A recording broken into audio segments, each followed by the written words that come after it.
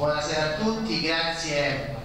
per la vostra presenza in attesa che ci raggiunga il sindaco che contemporaneamente nell'altro incontro in cui si parla del piano delle coste, eh, in questo momento stava facendo l'intervento quindi ci raggiungerà a breve, io porgo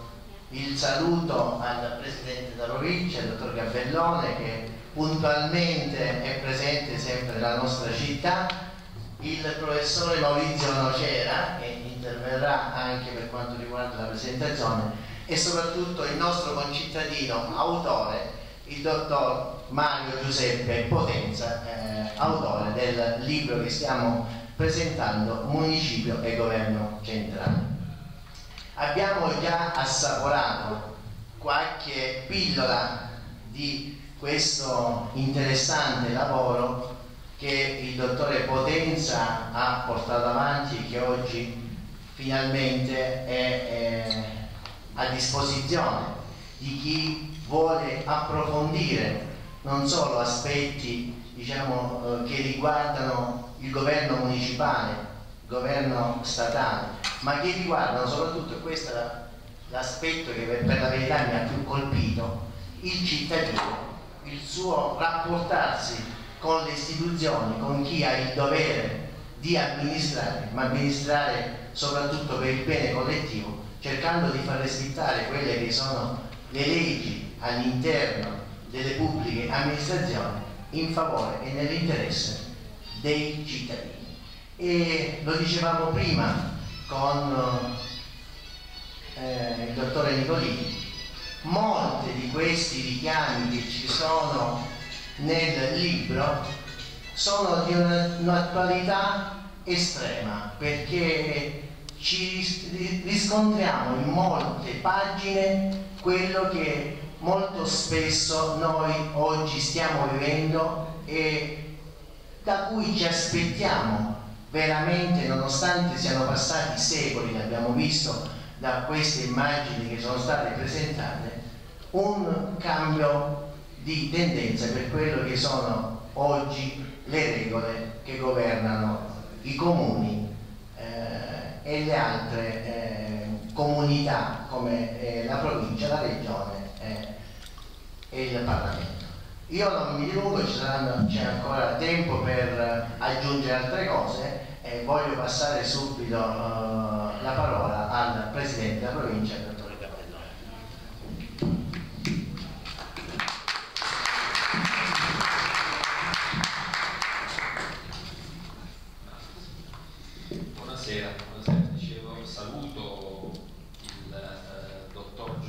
Mario Potenza, eh, saluto tutti i presenti, dottore Nicolì, le autorità, grazie per la presentazione all'assessore Falangone, un saluto particolare a una persona che seppure lontano da Tuglie da, da un po' di anni, ma insomma le sue radici e i suoi affetti rimangono in quella, in quella realtà e in quel luogo. Il volume che ho avuto la possibilità di eh, scorrere dà immediatamente la misura eh, di eh, identifica immediatamente l'autore dello stesso volume, persona presente nelle istituzioni pubbliche, segretario generale di alcuni comuni importanti e di province importanti, soprattutto nel nord. Questo a testimonianza di un rigore, di un'attenzione, di una sensibilità particolare nel recuperare alcuni momenti della vita della pubblica amministrazione, di cui sicuramente il dottor Potenza è stato, eh, diciamo, ne ha vissuto eh, gli eventi, momenti importanti e anche questo suo spirito, questa sua esigenza di ricerca eh, che trasferisce a noi un'idea di tutto ciò che è la pubblica amministrazione, di quello che è accaduto nel corso degli anni e di alcuni momenti storici che in qualche modo ripercorrono e ripetono situazioni che noi oggi attualmente, nell'attualità viviamo. È uno spaccato importante perché evidentemente siccome alcuni documenti riportati, alcuni passaggi eh, segnano la vita amministrativa di comuni della nostra provincia, noi ricaviamo alcune notizie che altrimenti non, non riusciremo ad avere. È un modo per analizzare quel rapporto, quel difficile rapporto, quel complesso rapporto che è sempre esistito tra eh, il potere, lo definisce il dottore Potenza, parlerei di amministrazione della cosa pubblica, ma siamo lì, e il soggetto amministrato, quindi è il cittadino. Questo difficile equilibrio e questa difficile corrispondenza che naturalmente viene mediata da un potere legislativo che eh, evidentemente eh, riflette e ripercorre in diversi momenti storici.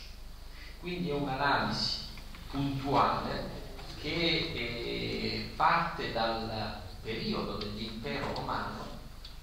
eh, e poi arriva sino ai giorni nostri con dovizia di particolari. Alcune cose sono state dette, io le avevo eh, è chiaro che il modello è quello delle municipalità dell'impero romano, quindi dell'organizzazione delle, delle municipalità durante l'impero romano che interessa le diverse realtà e che regola la vita cittadina. E qui è importante rilevare alcune situazioni che poi in forma evoluta, eh, meglio disciplinata, innovata dal punto di vista legislativo, regolano la vita attuale, che in alcuni casi dimostrano che le esigenze permangono e poi eh, bisogna adattarle, armonizzarle con i tempi. Il sistema dei controlli, già nel periodo eh, romano, nelle pubbliche amministrazioni, quindi il tentativo di evitare che eh, chi amministrava eh, imponesse o chi amministrava non rispettasse pienamente le leggi. È un tema che ricorre anche nelle eh, diciamo, diverse fasi storiche ed è un tema che, che, apre ad una riflessione importante per chi oggi ha detto ai lavori. Eh, negli ultimi anni eh, i sistemi di controllo sono un po' eh, andandosi, sono andati un po' eh, diciamo scomparendo. Eh, quindi se il magistrato all'epoca romana andava a, eh, a verificare l'operato delle pubbliche amministrazioni, ecco, riportandola a qualche anno fa questa proiezione, noi trovavamo il Coreco, salutiamo il sindaco,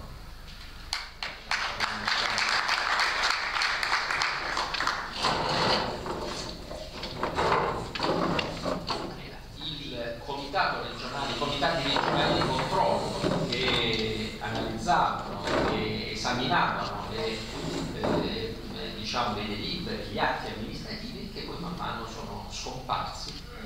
e attraverso processi di autoregolamentazione che per certi versi, come in qualche modo avveniva in passato, poi lasciano al senso di responsabilità, lo definisce il dottore Potenza, del, eh, diciamo, dell'amministratore dell'ente locale. Il candidato, il candidato si presentava con eh, un abito candido, con una tunica, in qualche modo si, poteva, si può definire. Beh, oggi ecco la similitudine che si cerca di, di riportare e la somiglianza, cosa accade anche oggi, l'immagine del candidato. Ieri c'era il, diciamo, in senso positivo, il padrino, il presentatore del candidato che aveva una veste, tutto un vestito, un modo di vestirsi particolare, oggi c'è questa immagine che è importante al di là forse, e questo è un grave errore che commentiamo, al di là dei contenuti e della sostanza. E quindi questo testo eh, così eh, articolato eh, si spiega anche in maniera per capitoli, per cui è veramente interessante, prende il lettore perché lascia intravedere o, o in qualche modo eh, soggioga chi eh, eh, è intento alla lettura perché attraverso una rappresentazione di diversi momenti, quindi diversi momenti storici, eh, affascina perché ognuno, ogni lettore può stabilire anche del, dei parallelismi con la situazione attuale e comprende come in alcuni casi, ahimè, eh, la situazione non è migliorata, in altri evidentemente gli strumenti a disposizione di chi amministra, anche in periodi di crisi come il nostro, eh, diciamo, sono, consentono di poter amministrare con eh, diciamo, una certa equità. Vi sono eh, alcuni alcune riflessioni da fare anche da cogliere rispetto al momento, all'epoca attuale. Poco fa era andata in, in visione una lettera in cui eh, la data, nella data si riportava 185, era 1857 e poi a penna eh, si metteva l'anno. Questo cosa ci lascia, eh, cosa lascia intendere? Questa attenzione nella gestione della cosa pubblica e quindi nel risparmio, nella eh, eh, diciamo, puntualità dell'utilizzo delle risorse pubbliche perché quella stessa carta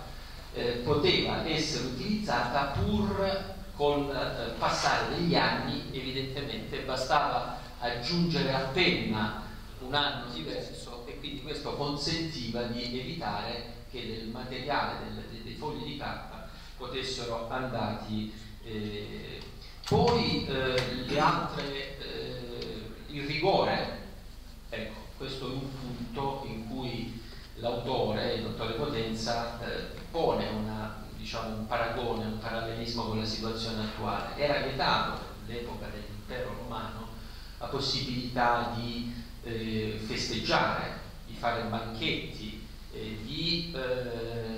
in qualche modo tentare di cogliere il voto del, dell'elettore eh, perché ciò poteva portare anche all'espulsione dal territorio, addirittura al diciamo, trasferimento in altro luogo.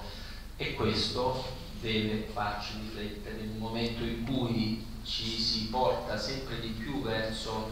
eh, sistemi bipolari con situazioni che puntano molto sulle campagne mediatiche, quindi su spese e costi delle campagne elettorali non di poco conto, all'americana oggi potremmo dire, ecco, forse recuperare dalla tradizione romana, dall'impero romano, situazioni di rigore, di attenzione nella spesa potrebbe essere un, un diciamo, eh, una un metodo un, da, da, seguire i tempi attuali per fare in modo che il voto possa anche, possa avere un maggiore, eh, possa essere espressione di maggiore democrazia e soprattutto di maggiore libertà. Quindi uno scandire eh, diciamo del, della vita delle pubbliche amministrazioni nelle diverse fasi dei eh, periodi storici del nostro Paese sino a giungere ai giorni nostri, passando evidentemente anche dal periodo post-romano diciamo di decadenza dell'impero romano in cui evidentemente il legislatore si preoccupa di andare a ricomporre, a rivedere il quadro delle istituzioni locali, degli enti locali perché evidentemente c'è la necessità di eh, recuperare un'organizzazione degli enti locali che probabilmente, questo si desume dal, diciamo, dal, dal testo, eh, ha determinato questa disorganizzazione, questo mancato controllo degli enti locali nel, periferici è stato una parte importante della causa di decadenza del, dell'impero romano. E quindi eh, diciamo, eh, il tentativo partendo dal post romano, ma soprattutto l'autore lo definisce dal periodo alto medievale, da un tentativo di recuperare efficienza alla macchina amministrativa e quindi una innovazione, un ammodernamento anche dal punto di vista legislativo e anche qui noi troviamo un riferimento importante con la semplificazione amministrativa normativa a cui il, eh, diciamo, il dottore Potenza fa riferimento. Una semplificazione normativa in un paese, il paese eh, quello italiano, eh, di cui il dottore Potenza un, ha un'esperienza straordinaria in campo amministrativo. E quindi diciamo, sottolinea come purtroppo il nostro sistema legislativo è spesso farraginoso e spesso eh, diciamo, non è così chiaro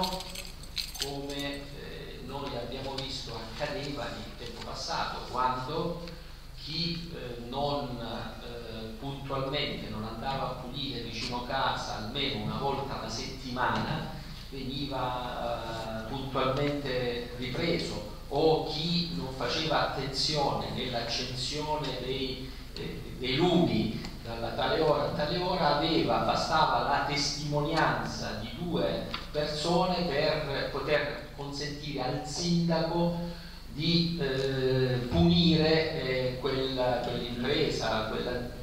impresa in termini moderni che si occupava di quel servizio. Il dottore Potenza dice il nostro sistema legislativo, ahimè purtroppo,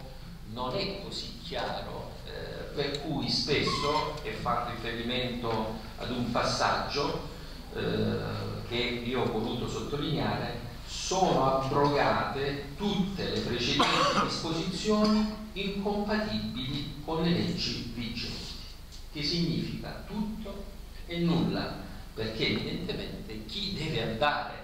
a eh, diciamo, applicare una legge dovrebbe farsi carico di andare a capire tutto ciò che è compatibile e, e allo stesso tempo non compatibile con quella previsione normativa e quindi cosa comporta questa formula? Comporta molta incertezza, comporta incertezza spesso nell'azione amministrativa, quindi comporta evidentemente eh, diciamo una difficoltà dell'amministratore dell'ente locale a eh, poter gestire la cosa pubblica con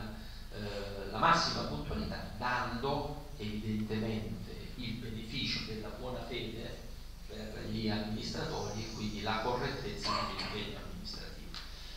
E, è un testo che va letto con molta attenzione.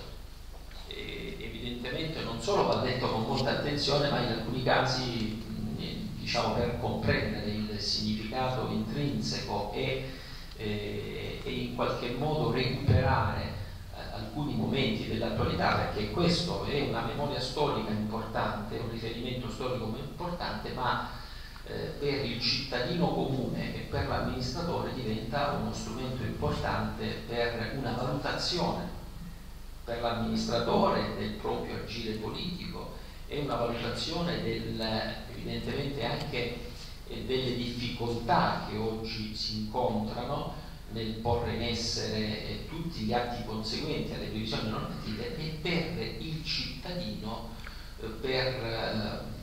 poter sino in fondo comprendere se la partecipazione alla cosa pubblica, res pubblica e allo stesso tempo il coinvolgimento nelle scelte decisionali di un sistema democratico è perfettamente compiuto e quindi garante di democrazia e di libertà. Eh, io mi fermo qui, eh, ringrazio per questa opportunità di approfondimento, ringrazio anche perché è una testimonianza importante di un uomo che eh, diciamo, vuole lasciare un, un professionista che vuol fare tesoro dell'esperienza di vita vissuta e soprattutto vuole aprire un, uno scenario, un interrogativo, un momento di riflessione, un momento particolarmente critico per le istituzioni, un momento particolarmente difficile, oggi si parla di rivisitazione della Costituzione, della seconda parte, della necessità di snellimento, di, di, eh, diciamo, di innovazione da un punto di vista legislativo che possa consentire un'armonizzazione piena tra un ente che è vicino eh, al, al cittadino e allo stesso tempo diciamo, la tenuta del sistema amministrativo che deve garantire eh, parità di diritti e quindi pari opportunità ai cittadini. Sullo sfondo di tutto ciò eh, rimane un eh, importante eh, intreccio tra ciò che è il potere locale, quindi il potere degli enti locali, comuni più in generale e più in particolare anche delle province e delle regioni e il potere centrale. Anche questo è un, eh, diciamo, sul, sullo sfondo rimane questo, eh, questo importante interrogarsi in che modo le due istituzioni eh, sono, eh, agiscono parallelamente in sintonia in, che modo non si creano distonie che eh, rendono complesso, articolato, non sempre compreso il procedere amministrativo del, degli enti locali. Veramente grazie per questa opportunità a me di intervenire, di poter prendere visione di un testo, di poter approfondire diciamo, un'esperienza di vita, soprattutto lascia eh, sul tavolo della discussione l'interrogativo della, della funzione piena degli enti locali che il potere, a me piace definirlo, eh, diciamo, l'amministrazione, l'attività di governo di un ente locale, eh, il modo in cui deve corrispondere a quelli che sono i bisogni dei cittadini. Grazie.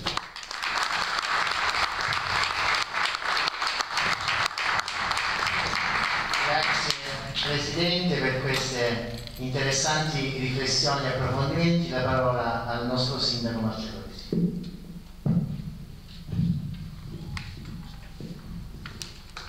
Quando il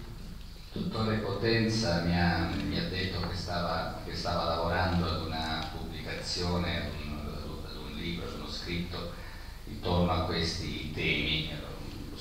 ho subito pensato che, che, che si trattava di di un'opera che meritava di essere letta, approfondita, discussa, per, per le ragioni che, che, ha precedentemente illustrato il, il Presidente Cappellone per il tema trattato e la qualità dell'autore che noi conosciamo, conosciamo da tempo, il nostro concittadino, uno dei più autorevoli esperti in materia di diritto, in modo particolare di diritto degli locali, al suo attivo il dottore Potenza diverse pubblicazioni, pubblicazioni che molte delle quali sono state anche oggetto di studio e di approfondimento quindi in sede di formazione da parte di molti esperti di diritto degli enti locali e di, di pubblica amministrazione. Il tema è un tema effettivamente stimolante il, libro è pieno di richiami, di, di suggestioni, storie, di opinioni, di vicende straordinariamente legate al tema del rapporto tra municipio e governo centrale, legate attorno al tema del rapporto, come ha eh, ottimamente rilevato il Presidente Gabellone, tra cittadini e potere. Voglio fare soltanto alcune brevissime, brevissime riflessioni in ordine ad alcuni tra le tantissime questioni che, che questo libro che, che veramente merita di essere letto propone. Innanzitutto si parte dal, dalla sottolineatura del distacco tra i cittadini e le istituzioni. E nella sua introduzione il dottore Potenza cita, come più volte si è fatto quando si affronta questo tema, anche il dato dell'astensionismo elettorale che viene giustamente considerato il termometro di quanto profondo e forte sia in determinati momenti e in determinati luoghi questo distacco. E a questo proposito io credo che ormai sono un po' di anni che noi registriamo questo fenomeno, non è un fenomeno nuovo e recente, anzi ogni volta ogni, ad ogni consultazione elettorale ci si sorprende per qualche elemento che segna e rafforza il senso di questo distacco. Una volta il fatto che aumentano le astensioni, una volta il fatto che crescono ancora, una volta il fenomeno delle nulle, una volta il fenomeno della Lega, una volta il fenomeno di movimenti che in poco tempo sull'onda della protesta raccolgono cifre, risultati elettorali a doppia cifra, ma da più tempo seppure attraverso segnali diversi, si registra un filo, c'è un filo che i diversi, i diversi momenti elettorali segnalano perché è il, il, il termometro di questo distacco. Credo che noi, che, che, da, che, che da anni, dico noi come mondo politico, che da anni cominciamo, eh, ragioniamo, riflettiamo, riflettiamo su questo fenomeno, abbiamo ora il, il dovere ciascuno per le, per le, attribuzioni che ha, per il ruolo che ricopre, cominciare a dare anche delle risposte, anche per non rendere vano il lavoro di studiosi come il dottore Potenza. Sono passati già dalla, ricordo già dalla nascita della Lega, che, che, che no, il movimento politico della Lega Nord si fu individuato, fu, fu segnalato fu, da molti commentatori, da molti studiosi come il sintomo di una febbre della politica, eppure sono passati decenni, ormai siamo, sono passati decenni. E non, eppure questa malattia, questa malattia non si è guarita ripeto, sono passati decenni. Noi a volte abbiamo, a volte abbiamo la, la, la, brutta, la brutta tentazione di pensare che tutto si riduca al presente, giudichiamo i fatti dalle esperienze più recenti. Si va indietro di 5, 10, 15, 20 anni, ci si accorge come c'è poco da stupirsi di quello che è accaduto ieri o avanti ieri se si è ignorato quello che in modo clamoroso veniva segnalato 10 o 15, 20 anni fa. E purtroppo la storia recente della politica italiana, a mio modo di vedere, invece ha registrato questo dato. Il, con riferimento a questo elemento faccio due brevissime riflessioni. Noi abbiamo in, innanzitutto la, la, la, disaffezione dei cittadini verso, verso la politica cresce man mano che ci si allontana dagli enti locali, dalle comunità locali, ovviamente. C'è naturalmente più controllo, più attenzione nei confronti dei comuni, anzi sul controllo dei comuni farò una brevissima riflessione. Um,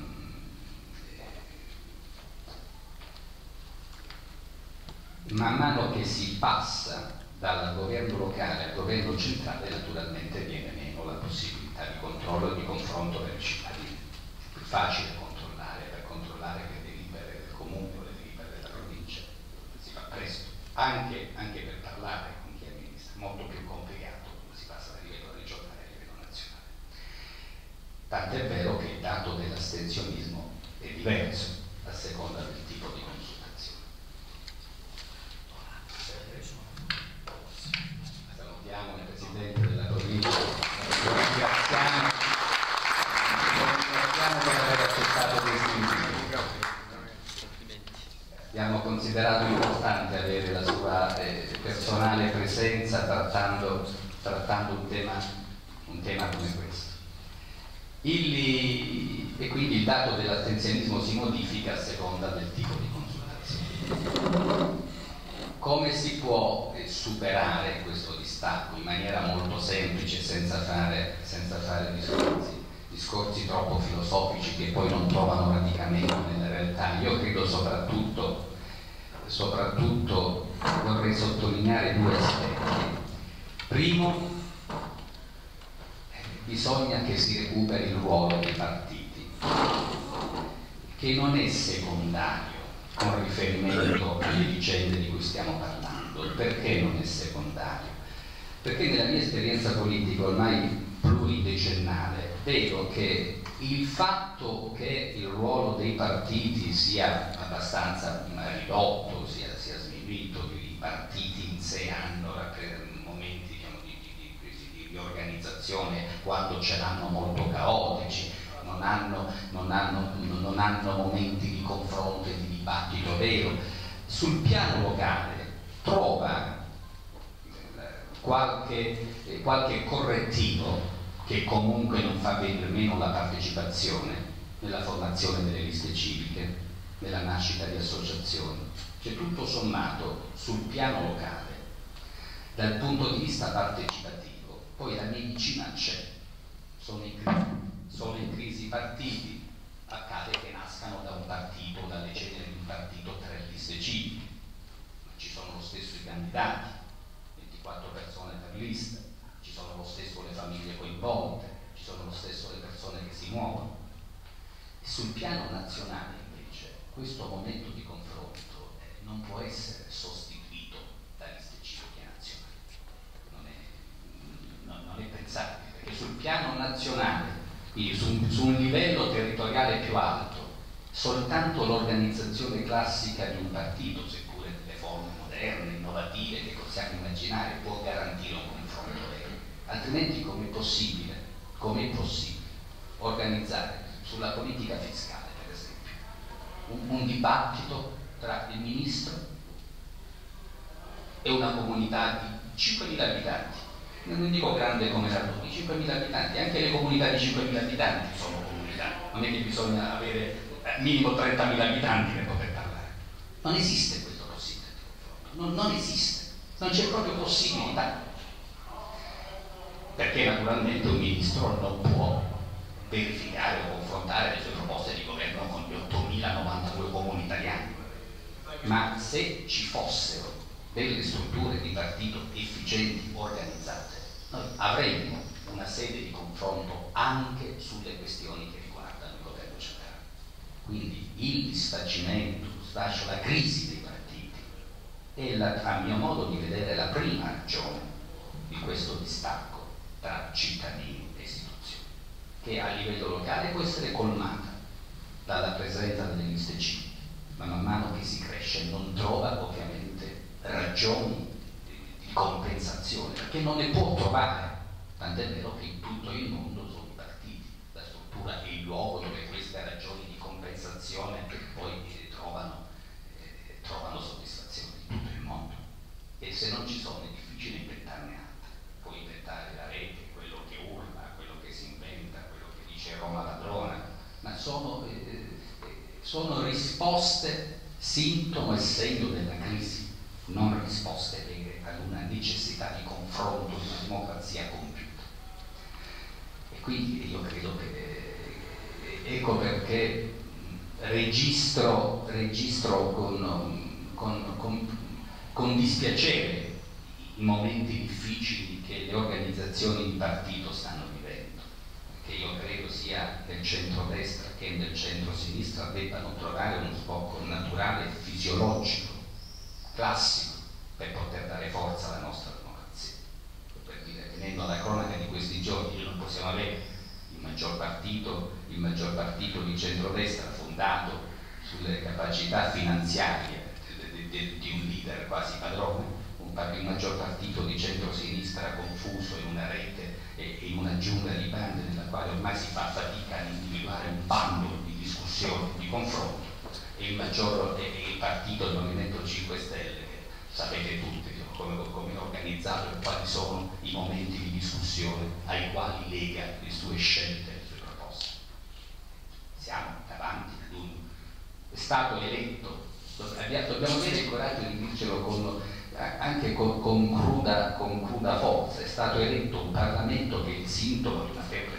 terribile della nostra democrazia. Mi fermo qui e vengo all'altra, all'altra questione, che è una questione importante. La crisi della politica è anche, e questo chi fa politica lo deve tenere a mente, è anche il, la conseguenza di un eccesso di privilegi che hanno caratterizzato almeno una parte del mondo politico, almeno una parte. Noi ce lo diciamo, ce lo diciamo in giunta anche quando, eh, quando ci sforziamo di fare delle piccole scelte, è evidente che i momenti di difficoltà, i momenti crisi, i momenti in cui tante famiglie fanno fatica ad andare avanti, ad individuare un futuro per i propri figli, è difficile tollerare o accettare privilegi che sono assolutamente sproporzionati, sia perché non vi è nessuna ragione, il, il privilegio è già qualcosa che non va in sé, secondo perché sono sproporzionati e perché poi cadono, vengono in un momento di crisi, di difficoltà caratterizzano e toccano gran parte delle famiglie. Anche questo, i privilegi della politica, sono l'altro secondo motivo, la seconda ragione accanto alla crisi dei partiti, di questo distacco tra cittadini e istituzioni. ripeto, credo che la, la, la, classe politica, una classe dirigente, se vuole mantenere autorevolezza e credibilità, deve assolutamente rinunciare ai privilegi. Rinunciare ai privilegi, ripeto, sono, sono considerazioni che facciamo anche in giunta quando discutiamo delle, di alcune cose, di alcune scelte che abbiamo adottato, come quella per esempio che, che non c'è ragione perché l'assessore se in missione si, eh, da solo non ha ragioni di rappresentanza debba farsi rimborsare il pasto, visto che a volte anche uno stipendio che magari ha oltre che un'indennità. Non c'è ragione sono piccoli, ma non, non, non, non, si comprende per quale motivo una persona che ha già un lavoro e che, che percepisce anche giustamente un'età non alta, ma percepisce, se è fu fuori sede eh, per, per, lavoro eh, o per, per, ragioni istituzionali si debba, eh, si debba pagare il ristorante. Noi abbiamo, siamo posti questo principio che due entrate, perché non è ricco, ma due entrate ce l'ha, perché si deve pagare gli spaghetti? I privilegi sono un altro aspetto della politica che ha contribuito a questo distacco. Su questo eh, la classe politica prima se, ne, prima se ne rende conto e meglio è per il bene del Paese. Rapidamente vengo ad un'altra, ad un'altra considerazione. Il distacco tra municipio, due ultime considerazioni, poi chiudo questo intervento. Intanto i controlli. I controlli anche alla luce della mia esperienza di amministratore, ormai da un po' di anni, voglio fare una riflessione. Noi non, non è che i controlli, da una parte i controlli si sono ridotti, spiegava molto bene il Presidente Gabellone alcune ragioni di carattere tecnico, il fatto che sono venuti meno anche alcuni enti che erano preposti ai controlli, come il Comitato regionale di controllo, se ne è occupato più volte il dottore Potenza, non solo in questo scritto ma anche negli scritti precedenti sono venuti meno alcuni tipi di controllo. Ma questo non vuol dire che c'è più controllo nei confronti degli enti locali. Anzi, è cambiato il controllo forse di peggio. Primo, faccio alcuni esempi. Innanzitutto ci sono eh, delle, delle regole che non fanno distinzione tra un ente locale che si sa governare e un ente locale invece più disciplinato dal punto di vista finanziario.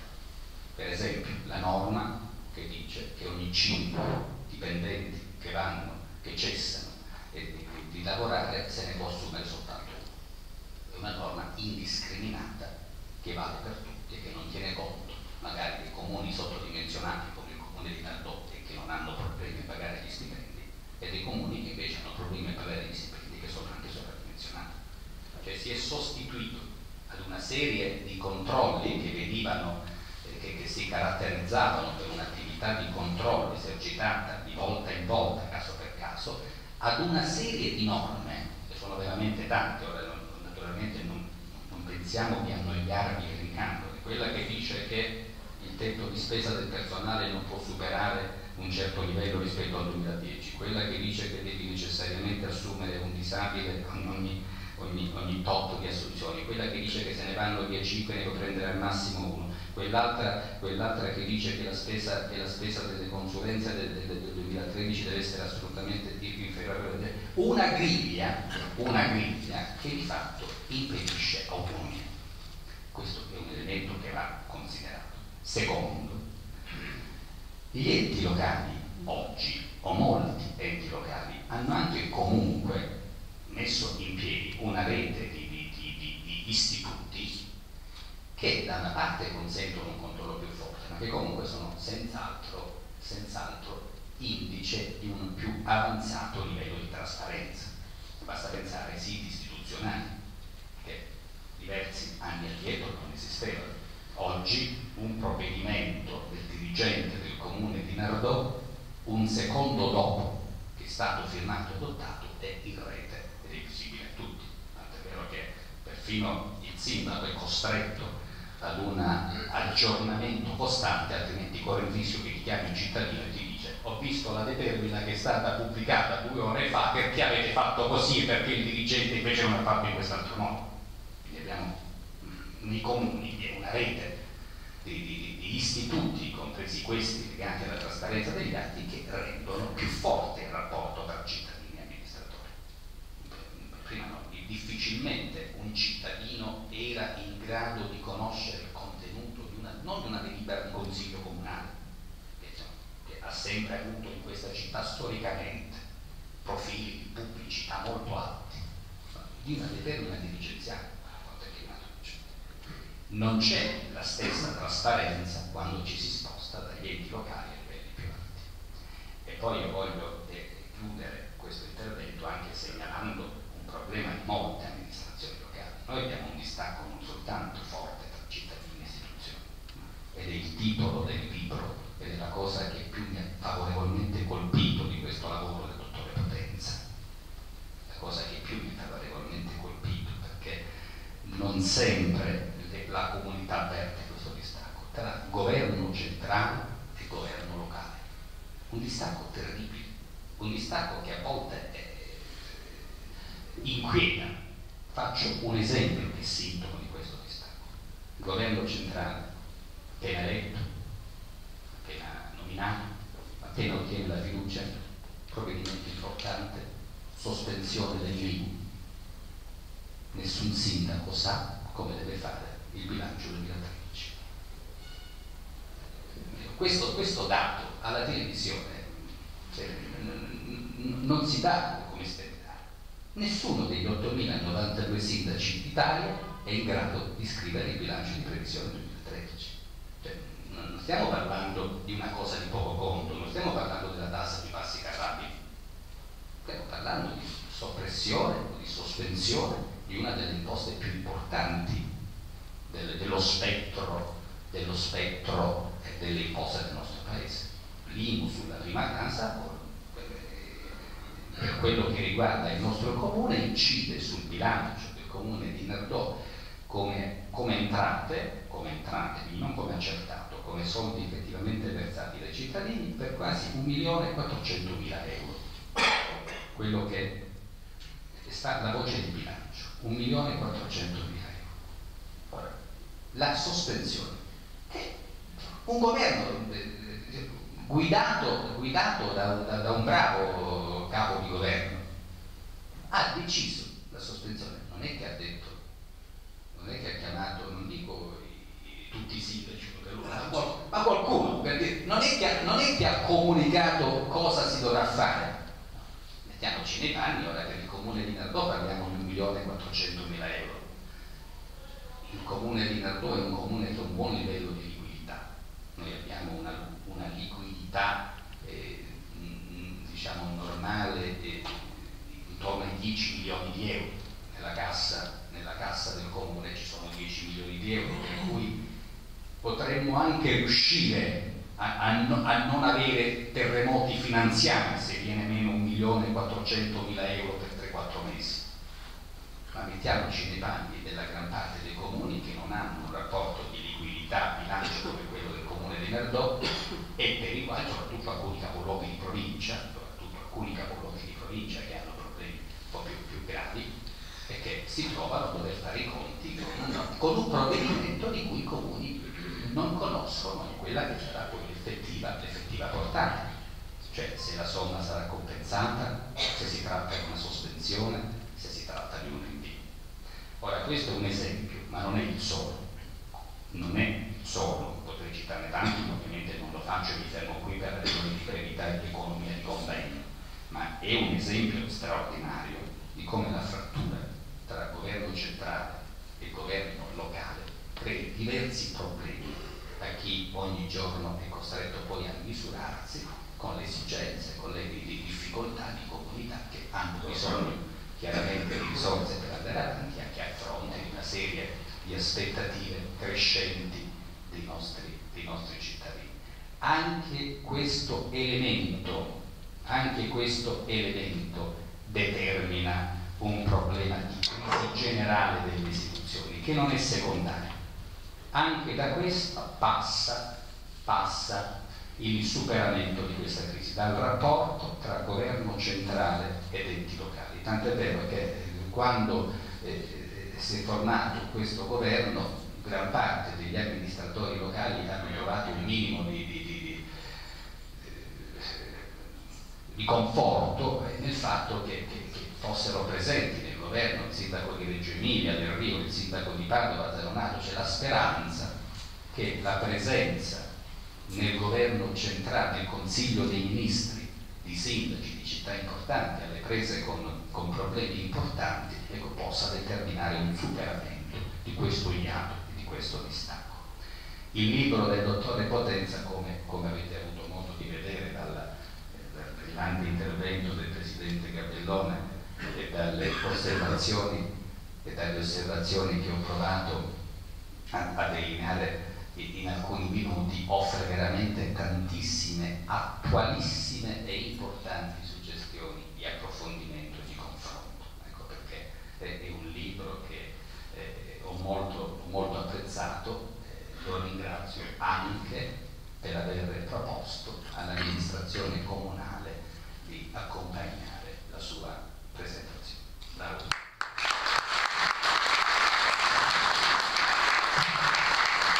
Grazie Sindaco per il prezioso contributo e soprattutto per questo spaccato della, dell'attività amministrativa attuale. Passiamo la parola adesso professore Maurizio Lacera. Grazie, buonasera a tutti. Eh, ovviamente intanto che il Presidente della provincia eh, interveniva e successivamente il Sindaco, Giuseppe Potenza, come un buon segretario, come un abile eh, segretario ha, ha notato, eh, credo osservazioni che ti serviranno ancora per un altro libro. Intanto questo libro, o anzi una precisazione, come ho conosciuto il dottor Potenza, il tramite è stata la poesia, cioè un amico comune, Pippi Greco, ci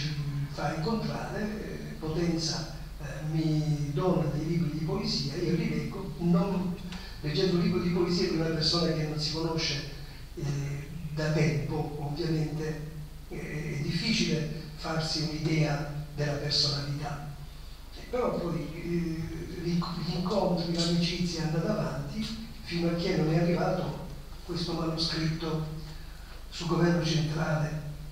e potere locale. E, e anche in quel caso la lettura eh, è stata, diciamo, abbastanza attenta, ma lo spirito di questo volume mi, è, mi si è rivelato soltanto ora, cioè a libro stampato. Tutte le osservazioni fatte eh, mi, mi vanno bene, perché il libro, guardate, questo non è un libro per specialisti, lo si legge come se si trattasse di un romanzo, come se si trattasse di un, saggio storico, ma nel senso del saggio che il lettore diciamo, legge senza dover incontrare paroloni, nonostante ci siano molti, eh, molti, termini latini, molti termini tecnici, eh, abbiamo visto il, cita il citamento eh, come, come sollecito. Nonostante vi siano tutte queste parole, il libro però è scorrevole, ha una lettura eh, letteraria, non tecnica, pur potenza mettendoci tutta la sua competenza tecnica. Voi sapete meglio di me se c'è qualche insegnante presente, lo sa che non c'è più educazione civica nel, nel mondo della scuola. Eh, non si insegna più una disciplina che abbia a che vedere con questo mondo che è il mondo del, della, della, comunità e della socialità. Eh, la scuola italiana si è andata a orientare verso, poi ci vuole questi particolarismi, tecnicismi che a volte si consumano nel breve volgere di qualche mese, eccezionalmente un po' di più. Ecco, questo libro secondo me, io non so che cosa eh, ne vorrà fare in futuro eh, il sindaco di Nardò, ma io credo che, io ho ascoltato l'intervento del Presidente della provincia, è un libro non da fare, eh, cioè da imporre, no, assolutamente questo no, perché Potenza stesso nel suo scrivere ci ha messo un alito di democrazia e di libertà straordinario, ma quantomeno di fare una promozione di questo libro. Perché? Perché guardate, si tratta di